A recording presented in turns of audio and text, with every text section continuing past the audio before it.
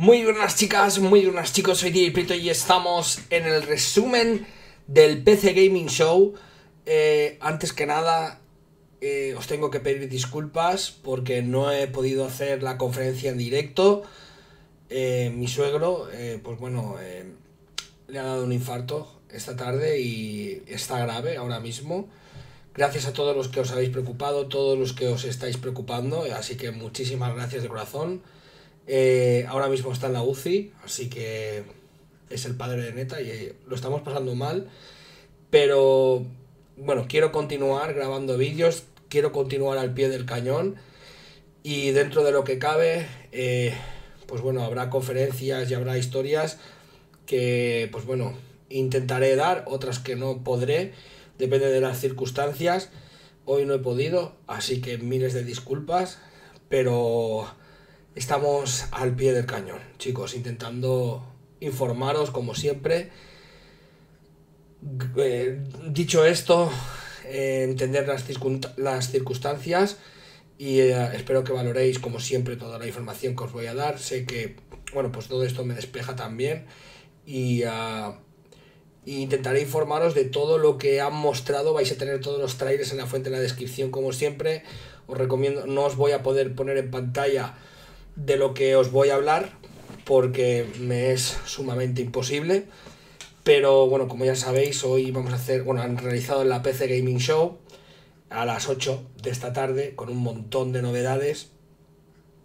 Eh, pues bueno, nos han prestado, eh, por ejemplo, el primer juego de Valheim, un juego de estilo nórdico, un sandbox que ya pudimos ver hace bastante tiempo, se llama Valheim, lo tendréis en el primer enlace en la descripción es un, título bastante chulo, sinceramente. Colorido, recordad que estas conferencias pues solemos ver juegos indies y la verdad es que pues bueno, hay muchas cosas interesantes como este Valheim. Luego nos han presentado Oblets, eh, un juego de simulación de vida, como lo han denominado. Llegará a Early Access en verano y lo tendréis en el segundo enlace en la descripción. Y ah, bueno, han presentado también eh, un juegazo como es Torchlight, Torchlight 3, eh, este ARPG de vista isométrica, ya está disponible en Steam, en Early Access, y la verdad es que es en Access, eh, Access y está muy chulo este Torchlight, es de lo, Torchlight 3 es de lo más destacado que hemos podido ver hoy. Luego, otro simulador de vida espacial que ha sorprendido con unos gráficos de infarto, el Odyssey Elite Dangerous, casi nada, la verdad. Muy chulo, mm, muy guapo el tráiler, de verdad mirarlo, os va a sorprender mucho. Eh, luego una de las sorpresas de la tarde, de la cual ya sabíamos que iba a estar, ha sido el Persona 4 Golden, aunque era un secreto a voces, como os he dicho, se publicó en Steam antes de que empezara la conferencia. Persona 4 Golden eh, ya está disponible en Steam. Lo malo de esto es que está en completo inglés, algo que eh, pues no me gusta nada. Y encima por 20 pavos, o sea, 19,99 euros. Eh, me parece muy caro para un juego que tiene bastante tiempo. Si hubiera sido por 10, pues todavía lo pienso, pero es que encima en inglés. O sea, no han aprendido los chicos de Aldus. De verdad, ¿qué queréis que os diga? Aunque es un port del de PS Vita de 2012, pues ¿qué queréis que os diga? Que venga en inglés y más en esto, pues a mí me decepciona bastante. El siguiente juego que vais a poder encontrar es An In a Sound Mind, un título de terror que llegará en 2001 y que contará con una atmósfera realmente opresiva. De hecho, creo que ya hay una demo disponible, así que echarle un, ojillo, nunca mejor dicho, este juego. Eh, todos estos trailers, conforme os lo estoy diciendo, lo vais a tener en, lo vais a encontrar en la fuente de descripción. El siguiente título es Airborne Kingdom, un tráiler que hemos podido ver, eh, gigantescas estructuras volando, llegará en otoño de este año y está confirmado en la Epic Games Store. El siguiente juego ha sido Darkheim, un título que recuerda bastante a They Are Billions, aunque con un estilo de fantasía. La demo ya está disponible en inglés y os lo recomiendo echarle un vistacillo porque un título que pinta muy guay, ¿eh? de verdad. Habrá que Habrá que echarle el, ojillo. Luego, otro juego llamado New Blood, un compendio de seis juegos de acción que ya se puede adquirir, ya está disponible, así que bueno, echarlo, mirar los trailers, que la verdad es que vale la pena que, que echéis una miradilla. Luego, uno de los títulos que más esperaba yo, Human King, eh, es muy complicado no comparar este juego con Civilization, saldrá a lo largo de 2021 y tiene muy buena pinta este Human King, que bueno, pues eso, es el primo hermano de Civilization de 2K. Acto seguido hemos podido ver Icarus. Por lo que hemos podido ver en el tráiler, parece que será un sandbox de supervivencia espacial. Así que, bueno, eh, echarle una ojeada porque tiene muy buena pinta. Y ah, gráficamente mm, tiene, bueno, eh, me parece a mí ah, como una mezcla de Satisfactory y, con gráficos muy chulos, de verdad, muy chulo. El próximo juego que hemos podido ver ha sido Evil Genius 2 de World Domination, un simulador de genio malvado, como lo han calificado, que, donde nos tocará hacernos cargo de una isla secreta en la que sembraremos el caos en el mundo. Eh, después hemos visto eh, Godfall, ya pudimos ver este título en la conferencia de PlayStation 5 y ahora sabemos que saldrá en la Epic Games Store. Luego hemos podido ver Prodeus, un título que el Early Access de este título, muy similar a los primeros Doom, eh, ya está disponible, llegará en otoño de 2020. Echarle un vistazo a este juego porque tiene muy buena pinta también. Luego hemos podido ver Fae Tactics, un título de combate táctico por turnos que cuenta con unos gráficos muy interesantes. Quizás este título nos recuerde un poquito a, a Disgaea, ¿no? Y saldrá este mismo verano. Atentos. Luego hemos podido ver Among Threes, un título de supervivencia Parece que será bastante más pausado que el resto del género. Ya está disponible en Early Access en la Epic Games. Así que echadle un vistacillo a Among Threes. Luego nos han presentado Carto, donde en el tráiler hemos visto muchas mecánicas en poco tiempo de este juego. Project Wingman, un título de aviación que llegará este mismo verano. Atentos a Project Wingman porque para los amantes de la aviación hay muy pocos títulos y este tiene muy buena pinta también. Luego hemos podido ver las, las mejoras visuales del remaster de Command Conquer. Nos han presentado Blancos, eh, una especie de juego un poco extraño eh, de juguetes que contará con buenos personajes, una especie de shooter, algo raro. Luego, como no, la segunda entrega de Everspace 2, otro juego más de naves en el PC Gaming Show 2020, gráficamente muy interesante.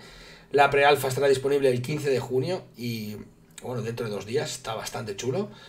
Eh, luego hemos podido ver Inculinati, básicamente este es un juego de estrategia por turnos cuyos combatientes son dibujos medievales. Hemos podido ver también Total War Saga Troya, donde hemos, hemos podido ver unidades griegas. Eh, saldrá el próximo 13 de agosto y ese día estará gratis, así que ya sabéis.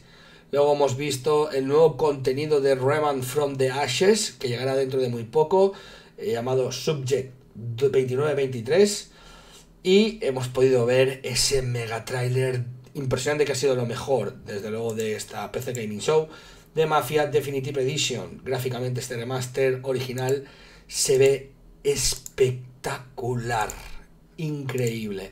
Este juego sí vale la pena. O sea, lo han mejorado de una manera realmente increíble. Qué ganas de, de jugarlo. Luego hemos visto Rogue Lords, eh, un juego que se parece mucho a Darkest Dungeon, incluso tiene un sistema de muerte parecido. Nos han presentado un Explored 2 de Wi-Fi Legacy con un apartado gráfico realmente interesante. Se ha presentado y parece ser una suerte de ARPG. Se lanzará en 2020. Eh, luego hemos podido ver Downless Call of the Void. Los jugadores de este clon de Monster Hunter Mm, de este juego que es casi casi igual que Monster Hunter están de enhorabuena, pues tendrán nuevo contenido. Hemos podido ver Potionomics, un rocket like eh, donde bueno, tenemos que conseguir la mejor venta posible. A mí estos de los rocket like no es mi estilo, sinceramente. Pero hay gente que sí. Luego hemos podido ver Mortal Shell, un título de fantasía. Está disponible en forma de beta el 3 de julio con unos gráficos muy interesantes. Hemos podido ver Shadow Man Remastered. El juego original se lanzó en 1999 y ahora tenemos un remaster en camino de este juego que, bueno, yo, mm, el Shadow Man original, lo jugué, eh, creo que puede ser en Play, de verdad. pues bueno, muy chulo, este Shadowman. Luego hemos podido ver Blind Bound, eh, una especie de dungeon crawler cooperativo. Se lanzará en Early Access a lo largo de este año 2020. Eh, hemos, visto, hemos visto un vídeo también donde nos mostraban todos los títulos que llegarán a la Epic Games Store. Hemos visto Shadow of Doubt, un título de investigación policial. The Forgotten, un título de acción en primera persona. Haven, Paradise Killer, Thrash Sailors, Chris Tales y un montón de juegos más. Como a la lot Champions of the Four Kingdoms, otro ARPG, aunque en este caso parece tener un corte algo más clásico. Eh, Weird West, eh, de los creadores de Prey, un título ambientado en el lejano oeste, Story of Seasons, eh, un título de simulador de granja, otro más, New World, el título desarrollado por Amazon Games, saldrá a finales de agosto y nos ha presentado un nuevo tráiler muy chulo, Three Mirror, un thriller psicológico con muy buena pinta, que saldrá en la Epic Games Store, Metal Hellsinger, un shooter claramente inspirado en, Doom, eh, Dungeon on No Book, un título de RPG de vista isométrica, Red Sails, Surgeon Simulator 2, tendrá personajes y caras para que ahora podemos jugarlo en cooperativo, inclusive The Last Campfire, eh, Escape from Tarkov, se ha presentado el mapa más grande y detallado dentro del juego hasta la fecha, de Outlast Trials, la tercera parte de la entrega, también ha presentado su tráiler impresionante, Gloomwood, eh, pues bueno, un título de acción en primera persona que nos llevará a una oscura ciudad llena de enemigos. Y, bueno, esto ha sido todo. La verdad es que impresionante. Yo me quedaría siendo alguna con The Outlast Trials, con ese Mafia Definitive Edition, con Human King, con Thune Mirror, con New World.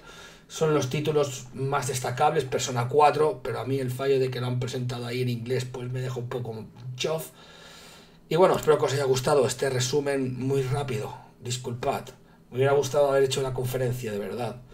Pero no me ha sido posible. Y mañana esté un poco quizás desconectado. Aunque ya veremos. Gracias de corazón. Y nos vemos en la siguiente. Hasta la próxima. Chao.